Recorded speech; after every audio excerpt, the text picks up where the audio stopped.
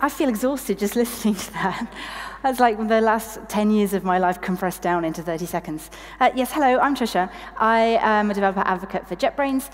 Um, what that means is that um, my, what, I, my, what my job is is to try and persuade you to use IntelliJ IDEA.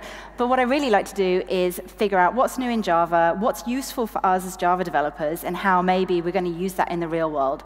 If I happen to demonstrate some IntelliJ IDEA features along the way, then that's just a benefit as far as my employer is concerned. So what I've done to put this talk together is I've spent the last few years since I've started working for JetBrains just constantly staying up to date with what's coming in Java. Um, and what I wanted to do is give the sort of TLDR version of that for most developers, because it's almost impossible to stay on top of all the changes.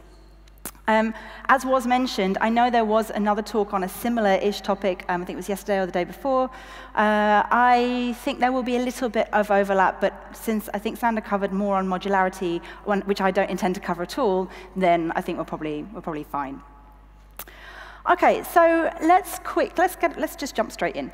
Um, upgrading from Java 8 sounds scary, and I don't want to have to pay for Java. This is the sort of premise of where we're, we're coming from here. Who, who is aware of the fact that maybe we might have to pay for Java from now on?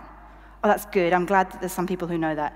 For the rest of you who didn't know that, we may have to pay for Java from now on if you're not aware of all the ins and outs, which I'm going to try and cover. So um, actually, I'm super happy with Java 8, thanks. I think I'll just stick with it. I did a super um, scientific poll on Twitter because, you know, Twitter is where I do my work these days because I'm a developer advocate. And uh, I asked which version of Java people were using. The majority of people were using Java 8, mostly because I couldn't fit Java 6 and 7 on here either. Um, a lot of, there's a whole bunch of people, well, there's some people using 11, which surprised me, uh, and a few using 9 and 10. A quick poll of the room, who is using Java 8? Great, you're the perfect audience. Who's using Java 9? Uh, uh, not sure, OK. Uh, who's using Java 10? who's using Java 11? Great, that's really good. Who's using Java 12? I am surprised. Who's using a version earlier than 8? I'm so sorry. I don't think you're the right audience for this talk. I'm really sorry. You've got to get on 8 first, OK? Um, are you Android developers by any chance? Use Kotlin. Um, anyway, uh, so the, the, um, the spread of people using the different versions might come as a bit of a surprise to people if they haven't stayed up to date with what's happening with the release cadence of Java. Why would there be a whole bunch of people on 8, almost no one on 9 and 10, and a bunch of people on 11? So let's take a look at the ins and outs of this. Since Java 8, the whole process, the whole political side of uh, releases, updates, licensing, and support has changed. Specifically since Java 11, actually, which is the important point. Well, okay, Java 9 for the release cadence, Java 11 for the um, for licensing and support. So since Java 9, we've been having releases of Java every six months. This is like a massive shock to us in the Java ecosystem because we used to get them every three years if we were lucky. And now we're getting them every six months. And uh, me as a Java developer, I'm like, what? Hey, I can't keep up with this. This is just constantly changing. But they are small releases every six months instead of these big bang releases. Now, obviously, Oracle don't really, in the past, they would have supported a version of Java for like three years or so until the next version comes out they don't want to support every version of Java for, like, for three years, because at some point in the near future, they're going to be supporting like mm, seven different versions of Java. And if you've ever had to support more than one version of your application, you know that that's an absolute nightmare. And they don't want to do that.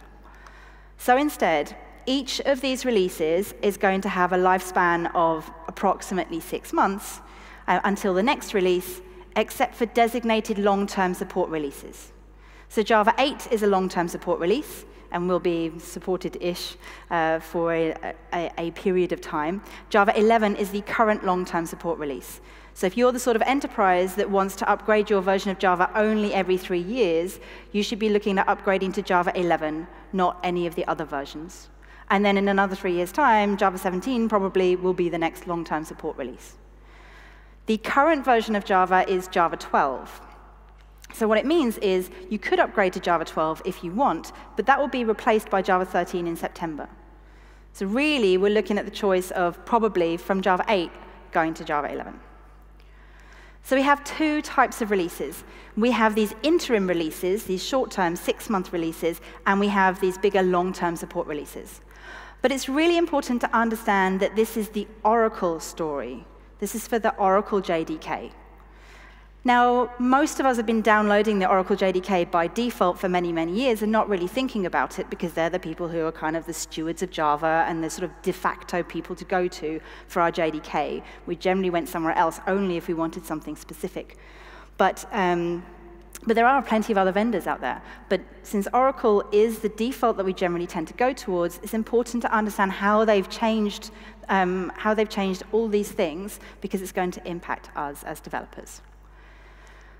Particularly, starting with Java 11, Oracle will provide JDK releases under an open source license and a commercial license, which is going to replace the, the old BCL license, which used to combine both free and commercial support. So they now have two different licenses, and it replaces the old license. That sounds frightening and overly complicated. Please talk us through this. Uh, in case you don't have small children, this quote is from the Lego Batman movie, which I have seen many, many, many times. Basically, the short version of this particular change from the Oracle um, camp is that now there are two different um, things, two different JDKs that you could download. There is the uh, Open JDK, Oracle Open JDK build, and there is Oracle's commercial build. The, um, and since Java 11, the commercial build is fundamentally the same as the OpenJDK build. In the past, the OpenJDK build was missing commercial features like flight recorder and a bunch of other things, mission control, flight recorder, things like that. And since Java 11, they are all available in OpenJDK. So all the features that we expect to see in Oracle's commercial JDK are available in any build of OpenJDK. So, OK, then why do we have two different builds with two different licenses? Well, the licensing is the important thing. We have two builds which fundamentally do the same kind of thing, but they are licensed in two different ways. Oracle's OpenJDK is free from a financial point of view and also has an, uh, an open source license, but it will be replaced every six months. So if you want to use the OpenJDK build, you have to upgrade every six months because there will be no updates beyond the next beyond the six-month lifespan of that release. Okay, so if you want the free Oracle one, you have to upgrade every six months. The Oracle commercial JDK is the one that has long-term support. So if you want to get the updates for the, for the next three years for the long-term support uh, version, you have to pay for the commercial one if you want to use it in production. It's free in development and testing and all those environments. If you use it in production, you have to pay. So it is true that under certain circumstances, if you're using the Oracle Commercial JDK and put it into production, you will have to pay. Okay? Now, what I talked about was the fact that we are, uh, the Oracle JDK build is now the same as the Open JDK build. And fortunately, there are many, many builds of OpenJDK. So you don't just have the option of using Oracle's JDK, Oracle's OpenJDK, and replace it every six months. There are loads of other vendors, many of whom offer support for longer than six months. Okay? If in doubt, a good place to start looking is Adopt OpenJDK, which is a community-run effort. And this is where you can get builds for um, a bunch of different versions for a bunch of different platforms and they provide support. So it says, we will provide long-term support releases for at least four years. So you can see that Java 8 is supported until at least September 2023, Java 11 until September 2022. That makes no sense to me, but OK, fine.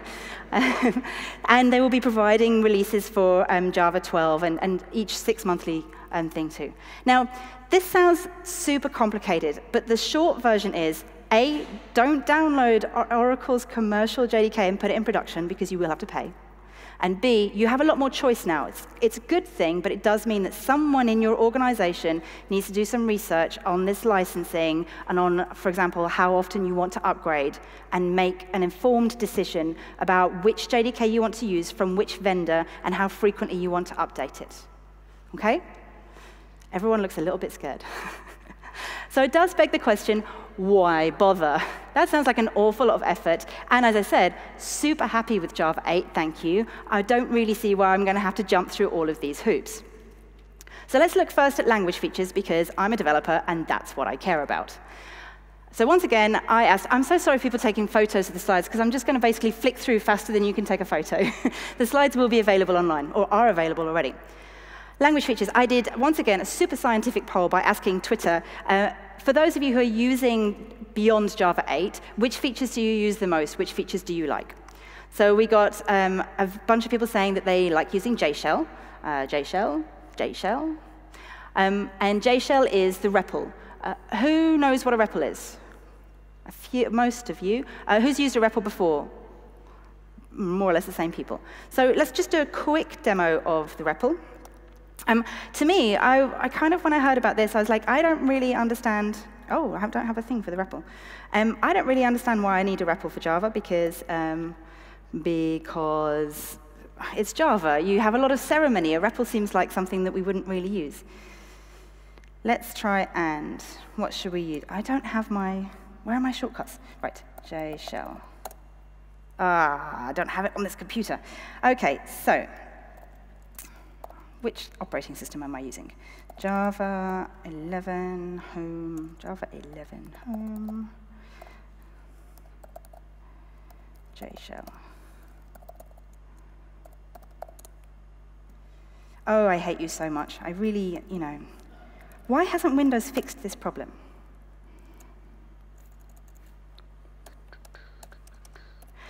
Fine, be like that. Right, let's open it inside here instead, because IntelliJ IDEA. Let's see if I can get it to work inside here first. oh, I hate you so much. I practiced every other part of this talk except for this bit, because this bit is usually really easy. All right, yes, easy, easy, that's what we want. Uh, let's go here then, fine. CD, where are we? Go into bin, see what's there. Thank you. See, what's wrong with you? I've been using the Mac all week, that's my excuse, and I can't remember how to Windows. Right, so I'm in the REPL. As you can see, I'm running this outside of my IDE, so I can run this independently of whichever version my, of Java my application is running on. So I can play with the REPL independent of everything else, which is a good way to get started with new fe features of Java. Um, right, so what can I do? I can say system.out. Look, I get tab completion inside the REPL. Print line. And I'm used to using an IDE, so this is what I want to see. Uh, hello. Yay. Note that we don't have to have a class file, we don't have to say public static void main, we don't have to do any of this ceremony. Also note, no semicolon. Oh my goodness, Java has come so far. Amazing. it's almost JavaScript, how dare you. So yeah, so we can quickly sketch things out. We can do things like I can obviously I can define a variable uh, int uh, thing equals three Great, I've got something called thing. I can play around with new features like uh, var, which we'll look at in a minute. var something equals 5. OK, I can uh, create anonymous variables. So I can just say, right, there's a number there, and it's just going to assign it to, to $4. Uh, I can also have a look at all my variables, variables, variables by typing vars, and it will list all of them there. I can define a method. Let's see if I can create uh, Let's do void uh, print something. Uh, system.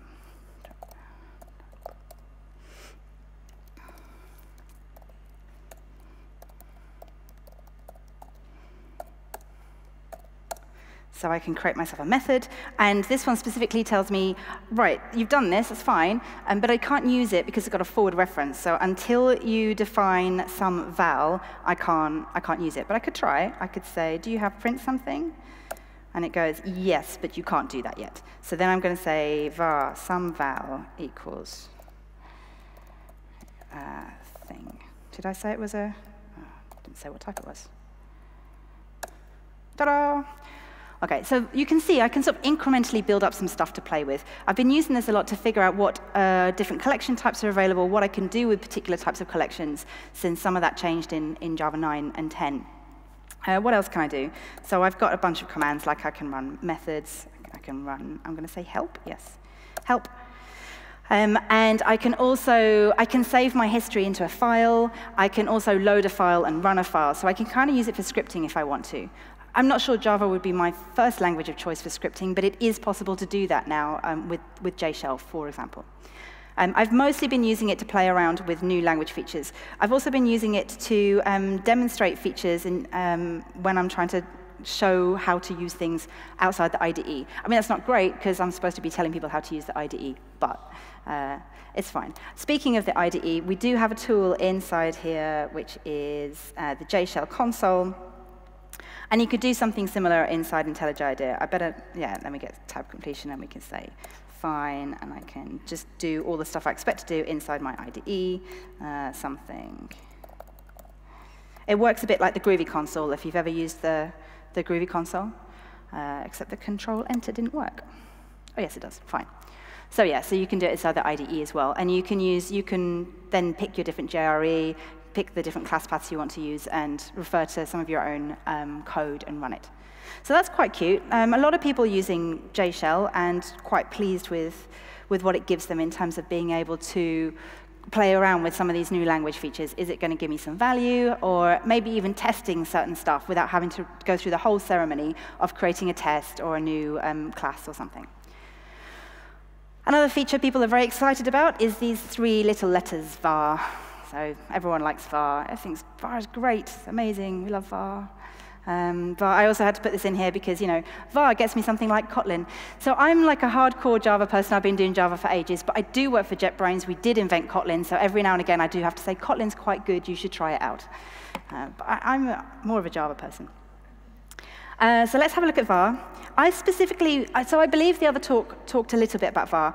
I kind of want to look at when you might not use var. For, well, when you may or may not use it. So var is local variable type inference. So it's local variable, so you can't use it on fields. I can't turn this into a var. Um, that's not going to work. And you can't use it on uh, parameters, because on a parameter, you're not going to know what type that is. Okay? So it's only for local variables. Let's undo those. And I've got IntelliJ to highlight places where I could use it if I want to. So I can use it I can use it on local variables, specifically inside methods. Um, note, for those of you who've used other languages, there is only var. There is not var and val. There is var and final var. You can ask me at the end if you want to why that is, but that's the compromise that has been taken to anger the least people possible. And so yeah, so this is where we use it. Um, note that var is not dynamic typing. var is um, it's syntactic sugar to hide a whole bunch of declaration of type, but it still has type. So if I hover over this, it tells me that it's still um, a list of, ty of type E in this case, but list of strings. And I can use quick definition, I think and it tells me, look, it's a final list of people. So it's not, it's not the same as like def or something. I'm not sticking it into an object. It's still typed. I just didn't have to physically type out that type. Which means that you can't necessarily use it in all places. For example, oh, I don't have an example there. Um, if you have, um, oh, down here, here, if I'm declaring a new array list and I don't put the type inside there, then I can't just turn that straight into a, a var because I've just actually changed the type. This is now an array list of objects, not an array list of strings, because I have to put the type information somewhere. Uh, I believe IntelliJ will actually do that conversion for me. So yeah, it's just move the string over here so that you're still going to get the same type. But you have to declare that type somewhere. You can't just remove all the type information. The, the compiler's smart, but it's, it's not that smart. Uh, so you can use it there so I want to talk a little bit about some of the best practices. There's a, there's a document which covers those best practices here. The point of VAR is to try and improve the readability of your code. It is not to try and make it worse. So if, for example, you already had, and I know that occasionally we do this, a variable name which isn't super useful and a method name which isn't super useful, and then we put that as VAR, we, when we're reading this code, we have no idea what this is. We have no idea what the types are, and we, obviously the IDE will tell us what we can do with it if we want to, but let's say we're trying to debug this, um, this code in production or something, when we're reading the code, we won't know what it's supposed to be. So sure, you can, you can make it into a var if you want to, but it's, it's not aiding the readability of the code at this point. You might want to use var when you've got enough information over here on the right-hand side about what it is. So here we might want to use var because, look, we've already said new buffered reader, so we don't, we don't need to say that's a buffered reader. That's fine. But if, like, again, if you don't have the right information over here and you turn this into a var, then, uh, then it becomes completely meaningless. It's also useful for for if you've got long stream operations and you want to break them up to just kind of have an intermediate step to maybe give it a variable name to, to make it sensible, uh, let's see, let's do this. Let's turn this into a variable. Let's call it entries. So some of these intermediate stream operations have some very interesting types, but really you don't really care because the next thing you're going to do is just call stream on anyway. So this is a good place to use uh, var, for example. Um, and another place is when you're iterating over stuff. This is genuine code I found from somewhere where we have some really interesting generics. But I don't really care, because what I'm doing is I've got an iterator, I'm iterating over it, and then doing something else. So I could actually just say, I don't really care about any of that. Um, that could just be a var and then this could be var as well. I don't really care about that. And then my code becomes much easier to read, because in this case, the types don't really matter. I know that I'm iterating over something, I have some sort of entry, and then I do something with it. So who cares what the types are? So yes, so var is not a magic catch-all to make everything better, but it can help reduce the, the boilerplate in our code. It can aid readability, but don't apply it everywhere because then your code base might end up being a little bit too terse, and that's not really, that's not really the Java way. My favorite feature from a recent version of Java, it came in in Java 9, so obviously you have access to it from Java 10, 11, 12, and 13 as well, is convenience factory methods for collections. And a bunch of people really love this. It's all good. Everyone likes convenience factory methods. Um, I'll show you what this means. It's, it's something really simple, um, but it's something that makes life a lot easier. Let's look at Java 9. In the olden days, or in your case now, um, you have to create a list like this, arrays.as list, if you've got a set of values you want to poke into a list. And that's kind of fine. You can't add values to that list. It's all right. It's sort of immutable, but it's not immutable at all because you can change those values inside that list. If you want an immutable list with a prepared set of values, you need to put it inside an unmodifiable list, which many of us don't because, honestly, who needs all this boilerplate around there, particularly if it's test code or something like that. In, um, in Java 9, you just turn that into a list of, and then you get an immutable list. So that's nice. It's shorter syntax, slightly shorter than saying arrays.as list anyway, and it's immutable. More interestingly, it applies to set. And set was a bit difficult because to create a set, you have to create a list and then create a set and then put it inside an unmodifiable set. Because obviously previously, the language developers of Java hated us and thought that we never wanted to create sets ever. But now you can just do set.of. That's much better. So now there's no excuse for using the wrong data type inside your, um, inside your code. It's very easy to use lists, but they're not always the right choice. If you have a map and you want to initialize it with a set of values, it was always a little bit hacky, I felt, in Java, where you have to use, you perhaps use a static initializer or something. Um, now you can use, if you want to, you can use map.of entries, it's, uh, it's not the prettiest, but it's a little bit better. Let's static import that. So I'm going to say map.of entries and create entries of key value pairs. If you have a much smaller map with a smaller set of values, there's a convenience method which will make your life a lot easier. Let's get rid of these. If you've got less, fewer than 10, you can say map.of and do key value, key value, key value. And that's kind of fine. It can be a little bit risky potentially if your key and value have the same type because you have to make sure you've matched them up properly and you don't accidentally put the key in the value or whatever. But it's, um, it's a good convenience method. This would have been really helpful when I worked at MongoDB because I did a lot of putting data into maps to put into a document database. This is a much easier way of working.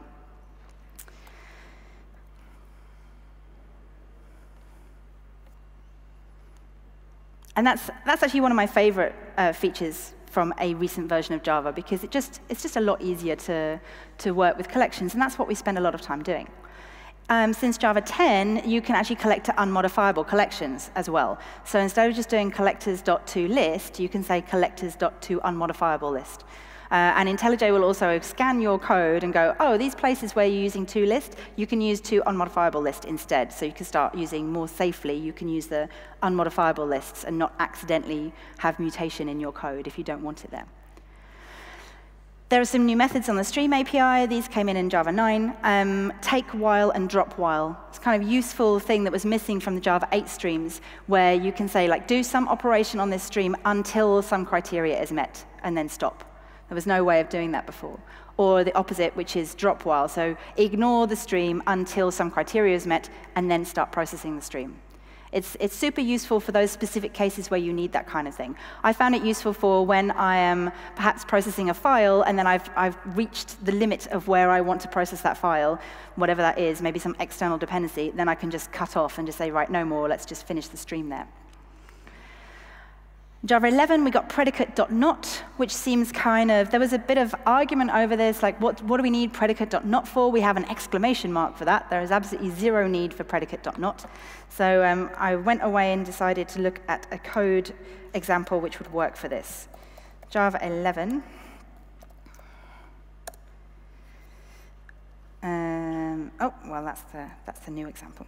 So what you do now, for example, is you say, if you've got a filter and you say it does not meet some criteria, obviously you can put your exclamation mark in there and use a lambda expression. But some people particularly would like to work with um, method references for whatever reason, and you can't turn this into something which uses a method reference. I mean, obviously you could actually just extract that to a method and say, and then turn it into a method reference, but that's a bit silly. Well, it's not silly, slightly overkill. So instead, you can use predicate.not and you could say, let's static import that. So then you can use your um, method reference if you want to.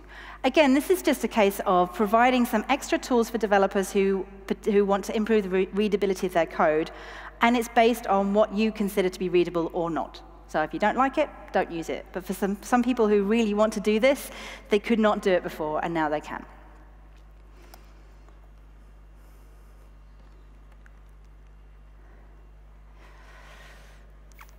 Um, and then over the course of 9, 10, and 11, we've been getting additional methods on optional, which I personally have found really helpful. I really liked the idea of optional in Java 8. I like the idea, especially because I've worked on code bases where you have to do null checks everywhere. And I'm like, is this really valid that it could be null or not? I, I just don't really know. I liked the idea of having a type which would say, this might be null or it might not be, and then force you to do that check. What I did find, though, with Java 8 is that the checks, the, the way of working with it in a functional way, with lambdas, etc., was a little bit limited. If you could work with the simple um, if present uh, syntax, then that's fine. But if you have more complicated cases, then you ended up still having these if statements anyway, and you're like, well, I could have used a null, and I would have had far fewer code. But in Java, in the latest versions of Java, this has become a lot simpler. Let's have a look at optional. So in Java 8, you might get an optional, and then you might have a case where you want to do an if or an else. And you can't, you have to do the is present and do a get, or you do an else in Java 8. And I was like, mm, this doesn't seem really the optional way of doing stuff. In Java, in later versions of Java, you can use if present or else, and then you pass in two Lambda expressions. So now it's a much more functional way of doing stuff. It's, it's fewer lines of code too, but it just looks a lot less ugly than the if statement. You can use or, which is a way of returning. You can say, return this optional or return another optional. So you don't have to unwrap the optionals and do stuff with them. You can just actually work with two optionals in their wrappers. Um, you can use uh, optional.stream to simplify uh, methods inside uh, inside stream operations. So I've just, there's kind of limited use cases for this, but when you do stumble ac across this use case, it does make things a lot easier. You don't have to keep unpacking the optionals. It's just uh, the stream method will sort of do that for you. And um, you've got or else throw. So you can say, this, uh, if you, again, this is useful if you're refactoring a code base which does null checks towards something which uses optionals. Sometimes you might want just a simple or else throw. So if it's null, just throw an exception. I want to see it. I want my tests to catch it. And then I might do some refactoring around that. And that would just literally do what you already were checking probably, like check for the null and throw, um, throw the no such uh, value if it's, if it's null. Uh, in Java 11, they also added, this is another one of those like silly, not silly arguments, those arguments that people get very uh, worked up about that seem over something tiny. In Java 11, they added uh, is empty as the opposite of is present. And there was a lot of argument of, if you've got is present, I don't need is empty, I can just put a not in front of it. But again, it's about readability, because humans are not very good at parsing nots. So if you actually just say, if you're looking for the empty case, it's better to read if is empty than if is not present. The human brain doesn't parse that very well. So, um, and IntelliJ IDEA will allow you to play around with this too. So I can actually flip this. So I can invert is present to is empty, and it will flip everything around, and I can go, oh, it's easier to read, or it's not. Uh, and I can also do, let's see, I can do not, and that will, that will invert it too. Um, and then in this case, I, can also, it will also suggest if I, if I was using code which says not is present, it will automatically say, why don't you just say is empty instead? So it's a bit more, potentially a bit more readable. Again, personal choice. Uh, 14 minutes left. Uh, OK, hmm. We're nearly there with the features. We'll just have to skim through all the summary stuff. Fine, optional. Um, Java 11 has a built-in HTTP client which supports, uh, let's see, what does it say? Uh, proper non-blocking reactive stream support, HTTP 1.1 and 2. It's got everything we need.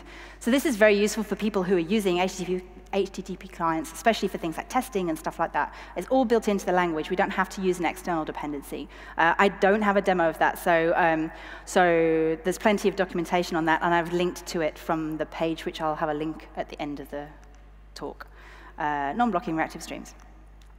Um, Multi-release jar files. In Java 9, since Java 9, library developers can package up a single jar which will be aware of whether it's running on Java 9, 10, 11, or earlier than 9. And that will allow you to, that will allow that jar file to make use of more recent um, features if they're available, or it will default to something uh, earlier if it's not available. Super useful for, for, li for, for library developers. And super useful for us because if we're using a library like JUnit 5, we just download the one jar file and just know it's going to do the right thing regardless. I don't have to download the Java 8 version versus the Java 10 version or whatever. And of course, Java 9 had Jigsaw, which everyone was talking about. It's going to break the world. We're not supposed to call it Jigsaw anymore. We're supposed to call it the Java module system. Um, and actually, people are finding it quite useful. So again, uh, modularity can be useful for um, library developers and for um, some enterprises who might want to use it as a sort of excuse to either refactor them, set their code towards a more modular system, or um, to formalize a modular system they already had. I don't want to go on too much about modularity because uh, it was like the big ticket item of Java 9, and I'm really not certain that a lot of people are, are going to, they're certainly not going to backport their enterprise applications to modularity. I really don't think that there's a massive demand for that. And you don't have to. You can run on, on a later version of Java without using Jigsaw, modularity, any of that stuff. It's fine. You can just ignore it if you want to. But Jigsaw did allow us to have these interesting new tools like JLink.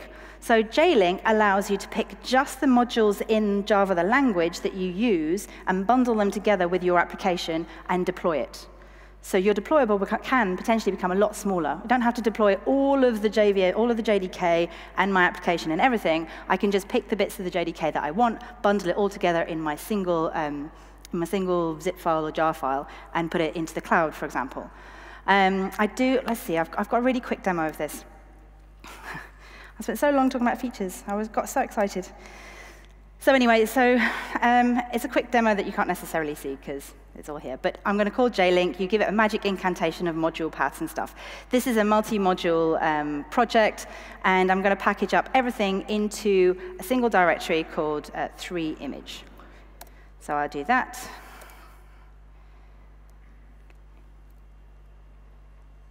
Go into 3image. Let's see what's there. So I've got a bin and a lib. Let's see what's in bin. And bin has got Java, the, the Java executables that I need. What else have I got? I also have um, JLink. Uh,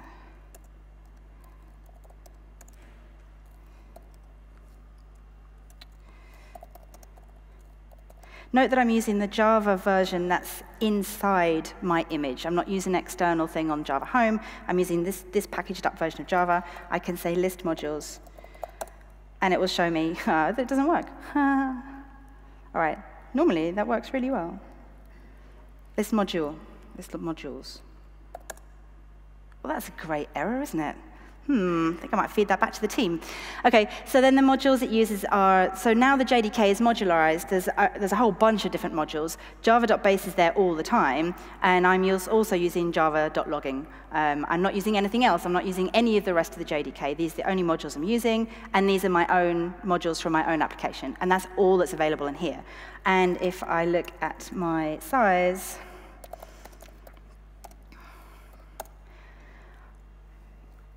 then I have a directory which is only 40 meg, and that includes Java.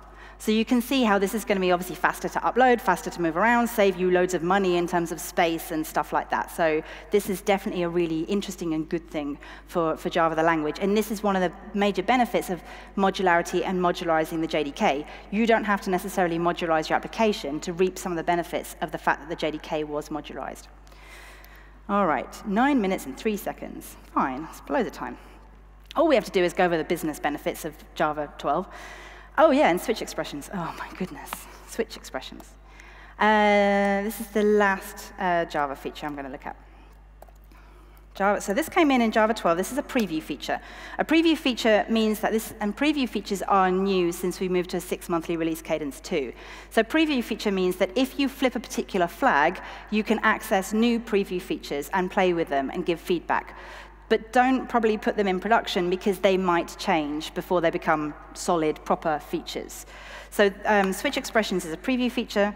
This is a kind of typical switch statement. Uh, I can turn this into a switch expression, which is significantly fewer lines of code, uses lambda expressions, it's a bit prettier, it's quite nice. The switch can actually returns a value, which I can assign to this. Um, one thing has changed in here. Uh, so this is the Java 12 version.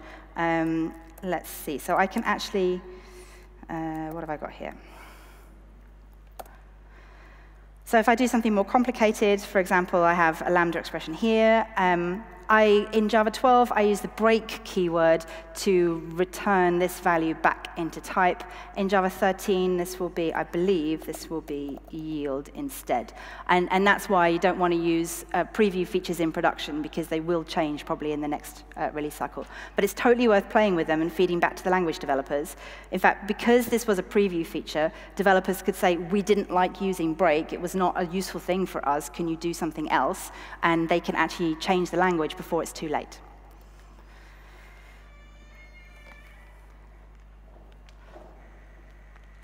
Okay, and in the future, the good thing about doing this six monthly release cadence is that we can be constantly releasing new features. And some of the things we've got, oh, I didn't mention, Java 13 is going to have the updated uh, switch expressions. Java 13 is also going to have text blocks, which, um, which I will not be able to demo because I don't have Java 13 yet. But text blocks allows you to put nice, it's a nice way of putting in things like SQL or JSON or, you know, those kind of big, heavy, texty things that you have to put inside a string, there's a new syntax to allow us to do that without having to escape everything. It's going to be way better.